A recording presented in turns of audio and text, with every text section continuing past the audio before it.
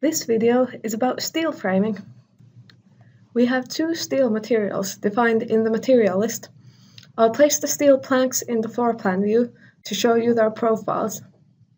So here you can see the profile of the ordinary 2x4 plank. And now I'll place the other 2x4 plank, which is meant for the framing's top and bottom pieces, and also for the window's top and bottom pieces. So here. And as you can see, these planks have an open side, which allows vertical planks to go inside them. You don't need to know how to define the profile yourself, because if you contact us at Archiframe, we'll do it for you. Next, let's define the element we used in this wall. To do that, I'll go to the Element Tools window and define my own element types.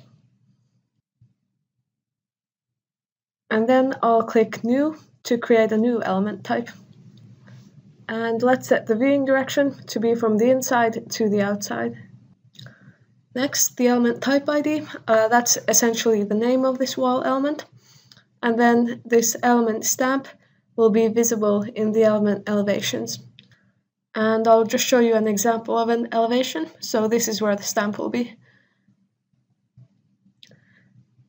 These settings affect the projections, and for them, we can just use default values. We could set this to zero, which would mean that the element will be invisible in the floor plan view. Next, let's add layers to the element. The first one will be the interior layer made of gypsum board. Create a new layer by clicking New and choose Type Boarding. The layer ID will be gypsum board 8 by 4 by half an inch.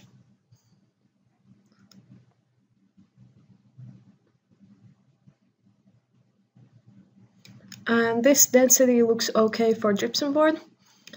And the boards will go on their own layer. And in the elevations, there will be lines showing the division of the boards. And the layer thickness will be half an inch. This determines whether multiple boarding layers will be overlapped. Let's use the default boarding strategy. This ID, or board type ID, will be used in the cut lists. And finally, the width of the boarding is 4 feet and the height is 8 feet. Okay, and when we've added a layer, it's good to define its type from this layer type menu. So in this case, the type will be boarding interior. And let's set these anchor names later, once we've defined and added all the other layers of this element. The next layer is going to be main framing. Let's set it to be based on framing metal. And let's set the layer ID to 2x4 metal. The ID should not be changed after the element type has been used in your project. Okay, and then let's go through all these settings below. So the density, including insulation, is okay and the thickness of this layer is the same as the thickness of the 2 by 4 pieces, so for some reason it is 3.5 inches.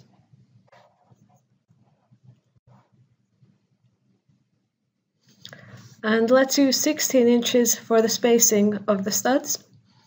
And the spacing tolerance means that an extra stud will be added if the stud spacing is exceeded by this amount. And let's set the spacing tolerance to half an inch. This refers to the material ID of the studs, and I'll select here the custom ID for metal pieces. And the rotation angle and Z offsets will both be zero in this case.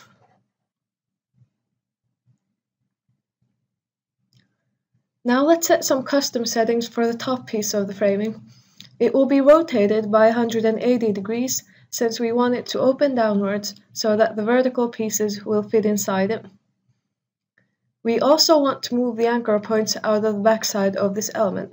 So the Z offset will be 3.5 inches and the rotation for the top piece will be 180 degrees. For the bottom piece, you just need to set the material. It doesn't need to be rotated since it opens upwards like a U shape by default. This extend inside determines how far the studs will be extended inside the top and bottom pieces. So let's use 1.4 inches since the thickness of the stud was one and a half inches. And then here there are no options that apply to metal framing, so now we're finished with the definition.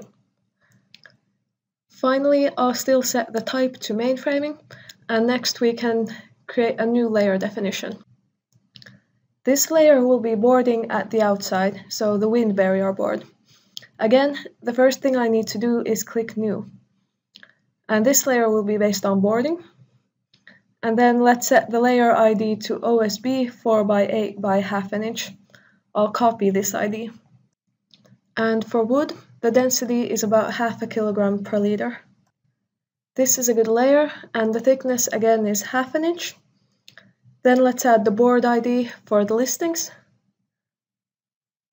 And then let's set the board's width and height.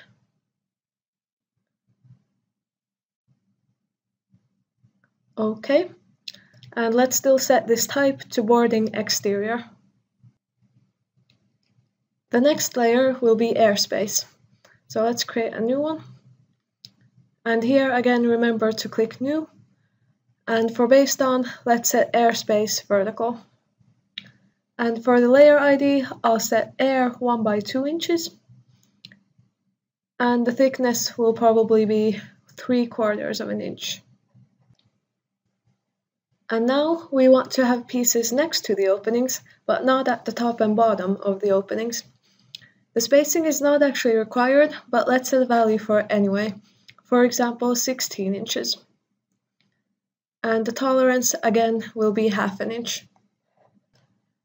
The material ID will be half an inch, and the default material will be rotated so that the bottom of the piece is the wider side.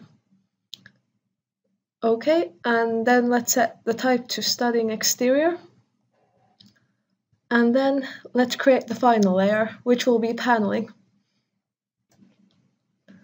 So first I'll choose the type, and then I'll set the ID uh, to be panel 1.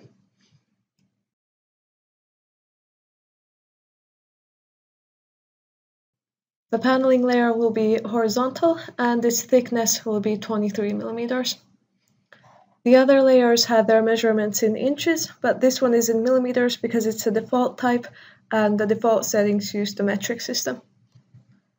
And this part is defined in the data folder and will define the paneling profiles for you.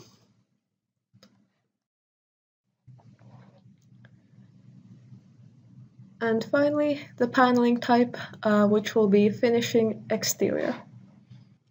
And now that the layers are set up, it's a good idea to go through these settings for each layer. So we'll set these anchor points and check that the types and the follow definitions are correct. So let's start from the first layer, which is gypsum board interior. So let's check the type and set the layer to follow main framing.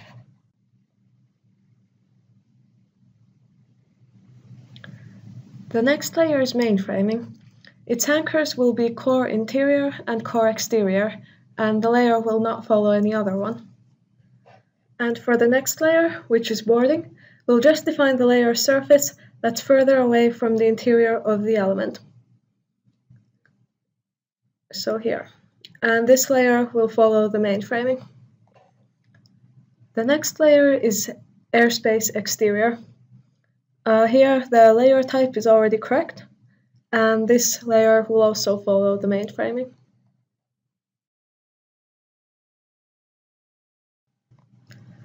Finally, the last layer is exterior cladding.